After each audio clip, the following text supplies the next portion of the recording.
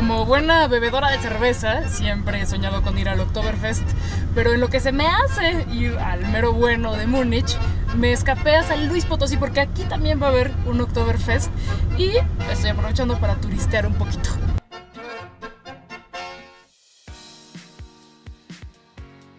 Me dijeron que no me podía perder el Centro de las Artes de San Luis Potosí. El edificio tiene más de un siglo de antigüedad y originalmente fue una penitenciaría. Ahora funciona como escuela y como centro de divulgación. Mi pieza favorita fue esta, hecha con fotografías de fachadas y letreros potosinos. El Oktoberfest potosino no se organizó solo, así de la nada. Tuvo que ver el Centro Cultural Alemán de San Luis Potosí, que voy a visitar antes de la fiesta, y quiero ver si puedo reponer las clases que me volé. El Centro Cultural Alemán trabaja de la mano con el Goethe Institut y cuenta con el apoyo de la Embajada de Alemania en México.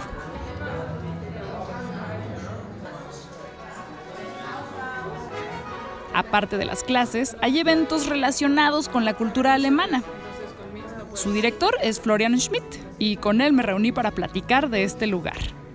¿Desde cuándo existe el Centro Cultural y cómo se creó? El Centro Cultural Alemán existe desde 1995, also tenemos ahorita 21 años aquí en San Luis Potosí. San Luis Potosí es en el medio, es en el Bajío, es importante para Alemania también. Y eh, también aquí existen no solamente la comunidad alemana, also tenemos ya empresas también aquí. En las clases, ¿cuál es el estándar de calidad? Normalmente el mejor estándar existe en San Luis Potosí. Nosotros tenemos aquí el elemento en mi vista más importante, el elemento más importante de una clase es el maestro. Ese día había una capacitación con maestros originarios de varias partes del mundo. ¿Qué tal estuvo la capacitación y qué aprendiste?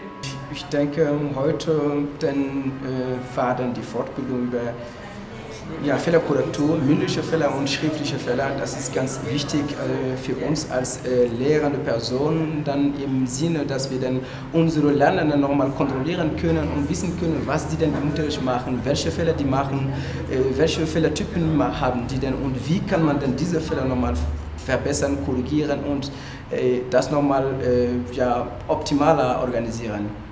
Ya, ya fue mucha teoría. Ahora hay que poner la enseñanza del alemán en práctica con un poco de cerveza. Ya turisté, ya tomé mi clase, ya hasta me enteré de cómo se forman los profesores. Ahora sí a lo que vine, al Oktoberfest. Y me lo tomé tan en serio que hasta me traje mi micrófono de reportera de noticiero. Entonces va a ser una labor periodística sin precedentes. ¡Vamos! ¿Cuáles son las palabras más importantes que los que visitamos y celebramos el Oktoberfest debemos conocer? Wir feiern gerne.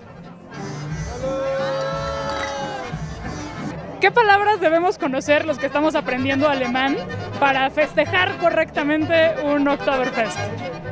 Bier, la cerveza, eh, Dirndl, el vestido, Lederhose, el traje típico para los hombres.